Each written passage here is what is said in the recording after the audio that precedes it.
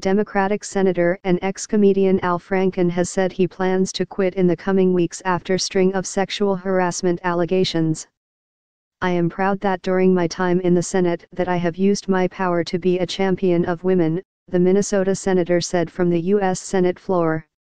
His speech came a day after nearly 30 Democrats called on him to resign. He is the most prominent lawmaker to resign amid a wave of sexual misconduct claims against high-profile figures. Today I am announcing that in the coming weeks I will be resigning as a member of the United States Senate, he told his colleagues on Thursday.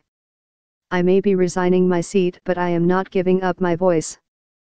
The former Saturday Night Live comedian and two-term senator has apologized to several women who have accused him of groping and sexual harassment, but he faced mounting pressure to resign after a new allegation emerged on Wednesday.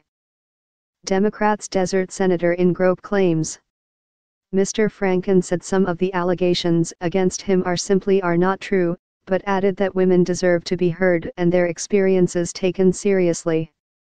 He also referenced the sexual misconduct allegations that have been leveled against U.S. President Donald Trump and Republican Alabama Senate candidate Roy Moore. I, of all people, am aware that there is some irony in the fact that I am leaving while a man who has bragged on tape about his history of sexual assault sits in the Oval Office, and a man who has repeatedly preyed on young girls' campaigns for the Senate with the full support of his party. Mr. Franken is not the only U.S. politician to have found himself accused of sexual harassment in recent weeks. On Tuesday, Michigan Democrat John Conyers announced that he would resign amid claims of sexual harassment made by his congressional aides. U.S. lawmaker to retire amid harassment claims.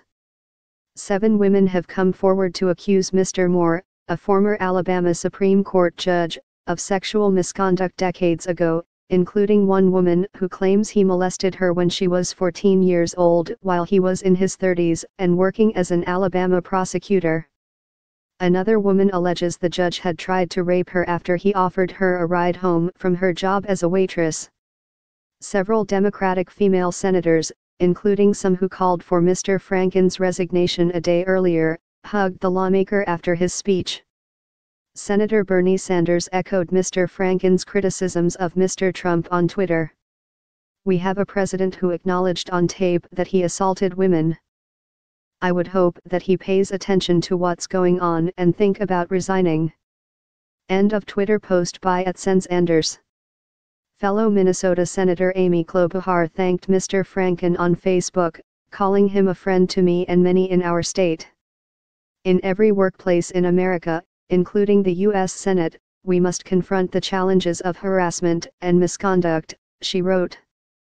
Nothing is easy or pleasant about this, but we all must recognize that our workplace cultures, and the way we treat each other as human beings, must change.